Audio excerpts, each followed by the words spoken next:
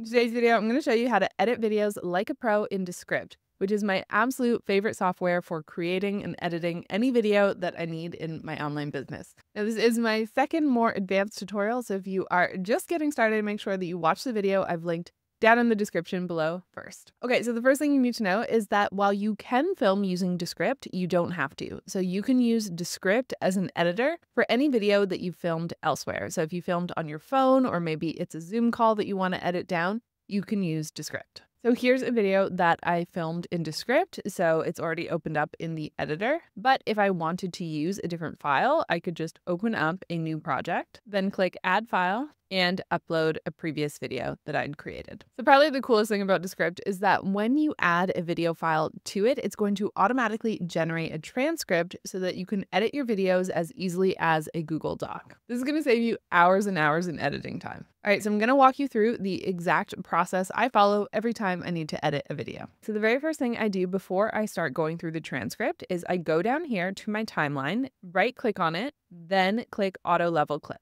The second thing I do is go over to layer, down to audio effects, and I turn on studio sound. This is going to make your sound a lot better and it's going to cut any background noise or like fan sounds that might be there. So yeah, it's really good. Test your sound when you are wearing headphones to get a more accurate sense of what it is. And the final thing I do before going over to the transcript is I go to visual effects, color adjustments, and then go over here to edit the settings. And then here is where I can increase the saturation or the exposure if needed. Okay, so the first thing I'm going to do before reading the transcript is I'm going to go over to Underlord, then shorten word gaps. So this is automatically going to get rid of these long gaps where I'm realistically thinking about what I need to say or taking a sip of water. So you'll see here that I do for gaps that are more than one second, I'm going to shorten it to 0.7 seconds and then hit shorten all. Okay, so that's just going to immediately clean up your transcript for you. Now, for my first round of edits, I'm going to go through and read the transcript. So, what I'm looking for is if my sentences are starting in the same way. So, clearly, it took me a second to get this intro right. So, because I know that I've said in today's video down here, I know that I can go ahead and just immediately delete that top section. So, in order to do that, you're just going to highlight the text in the transcript, hit the delete key on your keyboard, and you're good to go. So, we're going through and we're just doing a quick read like that, right? So, as you can see here, so in terms of microphones, that took me a second, so I'm just going to quickly delete that. As I also want to mention there is another feature that you could use. If you go over to Underlord, you'll see that there is remove retakes. So let's hit submit on this and this is going to do that automatically. Now it's not perfect and because it is quite quick to do this, I just do it my manual way, but I did want to mention that it will do it for you and then you can approve or reject their edits. So, pretty cool. All right, so the way that I do it is I'm then going to increase the speed in order to do my initial edit. So, I will go over here to this icon, then I will turn it to 2x, start at the beginning, and go through and make sure that I've gotten all of the cuts that I need. This allows me to do another check. So I'm going to go through the transcript. If I see an error that I missed, then I can go ahead and delete that. Now, as you do that, you still might find that there are some longer gaps in between your sentences that you would like to tighten up even more. So for that, what you're going to do is you're going to go down here to the timeline. So for example, I can see my audio right here, and I can see that there's a gap here. So I can go to the edge and I can pull that in. Okay, so on either side of these, you can pull in and out in order to make a more perfect edit and make sure that it flows together exactly how you want. For example, this long gap here, we don't need that, so I'm going to remove it. Don't worry if it like jumps a little bit, it's better to have that than having unnecessary gaps and pauses. All right, once I've done that, it's time to add some fun to the video. So adding text, captions, graphics, B-roll footage, all that good stuff. Now here's where one of my favorite hacks comes in. I actually open up a previous video that I'd created and then I copy and paste elements from that project over to this one. All right, so for example, here's a previous video that I'd posted, and this one includes captions and the Descript logo, as well as a little subscribe button. So I'm going to do is I'm going to click on it. I'm going to hit Command C on my keyboard to copy because I'm on a Mac. If you're on a PC, then just Control C. Then I'm going to open up the other project. I'm going to decide where I want it to go. And I'm going to paste that in and then I can just move it around for exactly where I want the captions to appear. And it's already saved in my colors. Let's do the same thing with the subscribe button. So I'm just going to click on that. All right, now it's really important when you want to add these elements to your script, you want to use the forward slashes in order to create different scenes. So for example, let's say that I wanted to add some text right here where it says, I highly recommend. I'm going to put a forward slash at the front and at the back as well. And now if I wanted to add anything to it, it's only going to apply for that section of the script. For example, let's say that I wanted to add some B-roll footage just for that section. I'm going to go over to stock, then videos, and I'm going to search for something related to what I do. So I'm going to do laptop typing. Okay, now as you can see, that just filled this space right here. They have lots of options in terms of what you can add. If you go over to elements, you'll see that you can add titles and text. If you go to captions, you'll see there's all these different templates for captioning your video. Stock, you'll see that we have videos, images, stickers, and more. What I find I use a lot is the stickers. So I will go over here and type in something like arrow, and I'll get helpful graphics like this that can help me illustrate what I'm teaching. But know that you can easily insert any of your own files. So for example, here's the video of the Tim's Club land. So I'm going to grab that and let's say I wanted to add it to this video. I'm just going to drag it on this top line of the timeline. So now it's right there at the top and I can click on it and I will be able to edit that file as well. I can go over to layer, I can turn off the audio, I can go down to visual effects and increase the saturation again for that file. So just dragging in anything that you want to add to your video. Often what I will do is I will go into Canva and I will create a design that is 4000 by 4000 pixels so that it's a really good quality. And then I will go over to elements and find whatever I'm looking for. So for example, let's say that I really liked this graphic. I'm going to make that as big as I can within this space. Then I'm going to hit share, download, and I'm going to download this with a transparent background. Then I'm going to be able to open up my Finder window and just drag that into my video. And then all I need to do is click on the corners up here to resize it and I can place it wherever I would like on my video. Okay, so another thing I wanted to mention is how flexible this space is over here. So for example, let's say that I wanted to change the way I appear. I can absolutely do that. So I can move this around entirely. I can put different pieces together.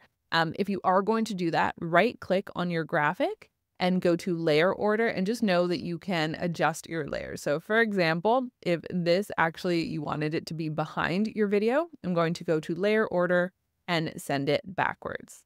Okay, this is one of those little things that you need to know.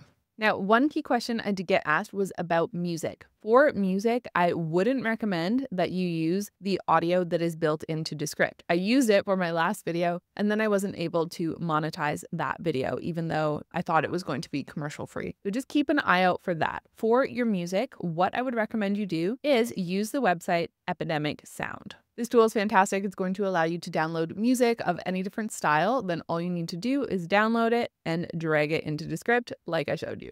For example, here is my song file. So I'm just going to drag that in. Perfect. And as you add more layers, they will stack on top of each other like this. So that is great, which means you can get totally creative with your videos. So I have my music file here, and then all I need to do to fade it in and out is you'll see a little circle right at the front here. I'm just going to drag that over to the right, and that means that the music is going to fade in. And same with fading out, you'll see this little circle here and you can just pull it in to fade it out like that. All right, so here are a few more requests and special features that I wanted to show you. Number one is if you click on your video file and then you go over to layer and to visual effects, click on the plus sign, you'll see that there is blur speaker background. So if you like that look where the background behind you is a little just subtly blurred, this is how you can do it, okay? So it's going to apply there and then all you need to do is click on this icon here to adjust the amount. Now I want to show you how you can zoom in on your video, which is a really common effect or transition that YouTubers use. But this actually brings me to a very underutilized feature that you need to know. So if you go up here, you'll see that these are all of your scenes for your video. So let's say that I wanted to zoom in on this section. I'm just going to go to that scene, right click on it, then click change layout And this is going to show all these different templates that are already pre-formatted for me that I could use. So for example, you'll see one is Zoom. We're going to click on that and the layout has automatically been applied. Let me show you what that looks like. How awesome is that? So of course, there is a manual way for you to do it, but you can just use that. So I want to show you a few other examples. Let's say for this scene, we want to switch it up. So I'm going to right click, I'm going to click change layout, and then use this one here for media. All you need to do to add media is you click on it, click add media, and then you can import in your file. So let's say I wanted to bring in an image, then I can easily just like that. But what's even cooler is you don't even need to go through that process. You can actually just open your Finder window and drag an image in.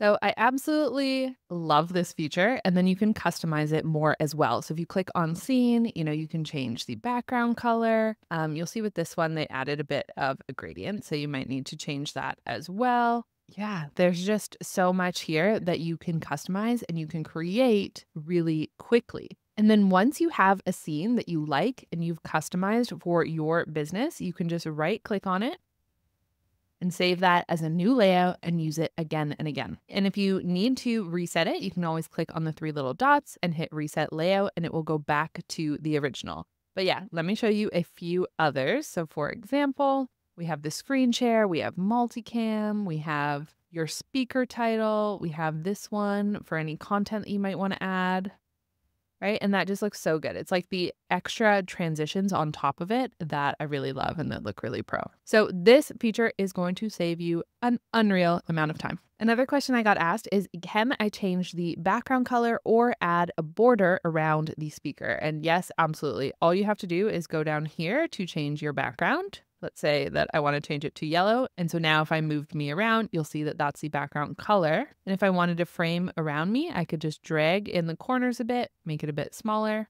And now I have a border. You could also achieve that using elements and choosing this square here, and then just placing that on top of your video to achieve a nice bordered look. Okay, and finally, I wanted to show you the green screen effect. So if you click on your video and then you go layer, to visual effects, click green screen, and that will automatically remove the background for you. Then you can put whatever you're talking about, you can put it behind you. So let's say that I had an image of this scenery here that I wanted to put behind me. I'm going to click on that. Okay, and then I'm going to resize this. Then I'm going to right click on it, go to layer order, send that backwards, and then I could move me around and be talking in front of that image. So clearly there is a whole lot that you can do with Descript. And then when you are done and you want to share this with the world, all you have to do is go over to export. You can either export this video and then upload it wherever you need, or you could share it straight to YouTube. You change this, make sure it's at 4K. So sometimes I do need to do this final thing where I click this icon here, click other, and I change it to 4K. Then I click export, export it as 4K, and then we're good to go. All right, guys, I hope that you absolutely love using Descript and it saves you a ton of editing time. If you have any questions at all or you want to know how to use a specific feature, let me know in the comments down below. Thank you so much for watching, and I'll see you real soon with another video. Bye!